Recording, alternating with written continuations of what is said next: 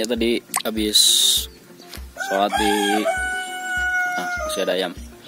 Tadi habis sholat di musola di Kasipuan Cipta Gelar ini tempatnya begini. Ada lapangan luas. Ini biasanya buat parkiran motor nih. Acara kemarin Ahoy Gebo itu katanya sampai 700 kendaraan. Padahal targetnya itu 400 nah ini apa namanya? Kampung-kampungnya sih udah termasuk. Kampung-kampungnya sih termasuk udah eh, nggak uh, ketinggalan banget ya. Cuman rumahnya aja kelihatannya tradisional cuman apa namanya sini banyak juga yang pakai motor dan teknologi. Kayak listrik listrik udah pakai dari mikro hydro dari Universitas UI kalau nggak salah. Itu dapat bantuan dari mereka. Dan ini listriknya mandiri soal pangan juga mandiri kayak beras. Ini mantep. Dia sekali stok lumbung padinya bisa buat tiga tahun. Bisa buat tiga tahun. Nah kebetulan semalam itu ada tradisi namanya nganyaran. Nganyaran itu kita makan dari panen pertama. Jadi dari panen pertama itu dimasak padi-padi yang pertama kali panen dimasak lalu disajikan buat tamu-tamu. Tadi makan emang nasinya agak apa namanya ya nggak e, panjang-panjang tapi enak nasinya agak-agak pulen tapi antara pulen dan perah tuh. Nah ini motor-motor lelah. ini paling capek banget nih. Tadi disuruh naik gini karena orangnya udah kecapean jadi ya udah kita bantu naikin yang lain pada pakai motor metik standar. Saran sih mending pakai trail atau apa gitu yang yang enteng-enteng lah. Kayak KLX atau CR itu enak. Luigi si Jimat upacara ngadiukan nggak tahu itu apa.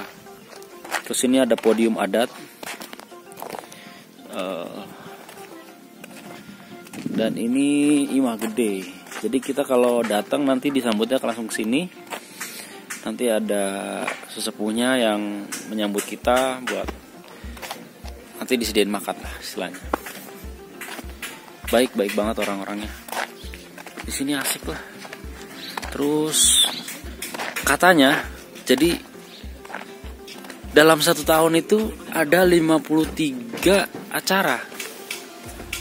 Luar biasa nggak? Padahal tahun itu minggunya cuma ada 56 tapi dia acaranya ada 53 di belakang saya ini perumahan-perumahan desanya. Nah di bawah itu ada ternyata di sini juga ada SD loh SD SMP SMA jadi sejarahnya orang-orang sini juga pengen apa ya pengen pendidikannya bagus lah. Jadi untuk pertama kali SD hadir di sini eh, mendatangkan guru dari luar. Lalu kemudian lama-lama dikelola sendiri. Dan gak cuman kita yang datang ternyata. Banyak banget coy.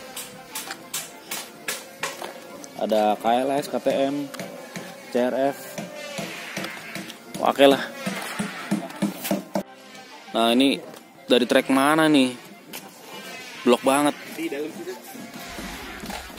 Oh pokoknya bahas turbo turbo Aduh. Ini bojo. Mosok? Bukan lah. Ya ini motornya kayak ginian. Oh motor iya sama. Ini ada Kawasaki Versys yang bawa ini kalau nggak salah orang tua ya. Nah, sudah tua orang, kuat sekali. Saya aja mungkin nggak sanggup nih bawa ini. Paling sanggupnya bawa ini. Ini top.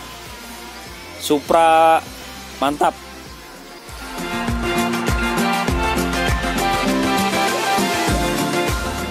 Ini dapat makan juga nih prasmanan. Ya Om ya. Oke. Ini nasi anyar. Anyar. Oh, ini anyar ada tradisi anyaran.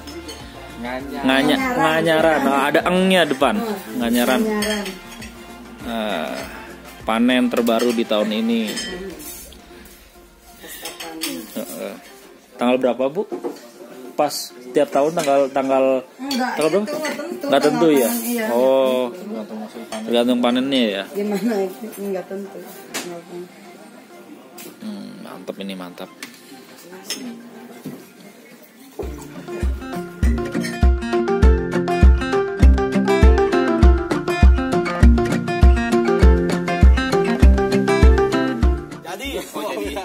Ayo kita pulang. Say hello dulu, say hello, dadah. Let's go home. Thank you. Gelar. Apa cuman berapa jam? Nggak puas ya? Lain kali nginep lah sini. Cari visanya yang dua hari. Dadah. Kalau kita Om Adi, kita nginep Om Adi.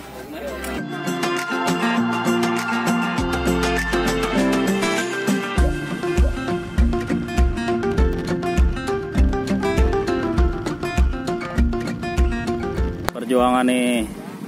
Pulang jalannya rusak.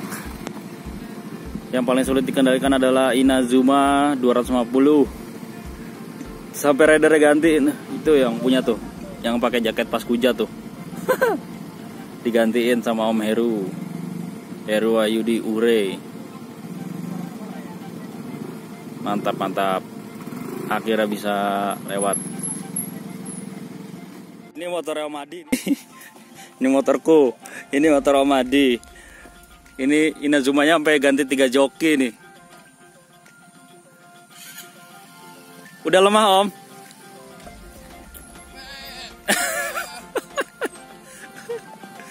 Ini kayaknya nanti semua kebagian Om jadi jokinya Om. Tadi saya udah kebagian jadi joki. Ini Om Adi. Ya semangat Om Adi. Sampai bawah ya.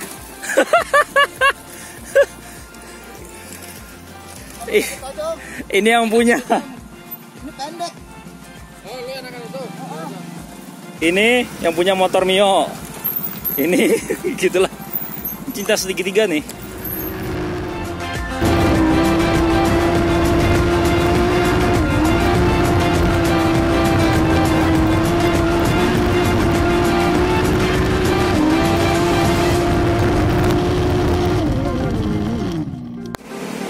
Ya, sampai Pelabuhan Ratu Kuping masih budak dari apa namanya perbukitan di sana Cisolok Cipta Gelar.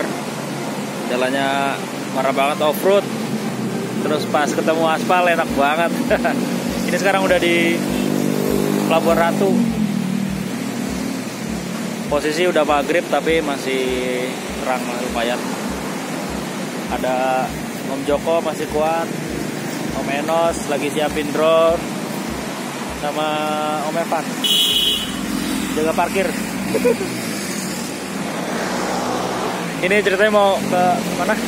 Hotelnya dulu mandi dulu mandi terus kita pulang. Ayo pakai tripod kan? apa tuh? Pakai tripod.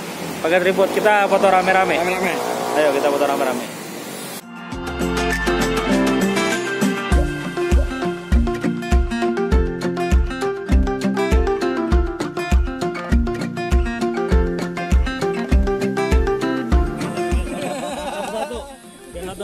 semua gesek-gesek nah, nah. Iya. Buat terserah mau ngapain, mau dada mau apa, nanti dia mundur, mundur, ngelihat view semuanya nanti dia. Putar gitu ya. Tuh. Ya, elet. Yuk, yuk, satu, dua, tiga. Tanding, tanding, tanding.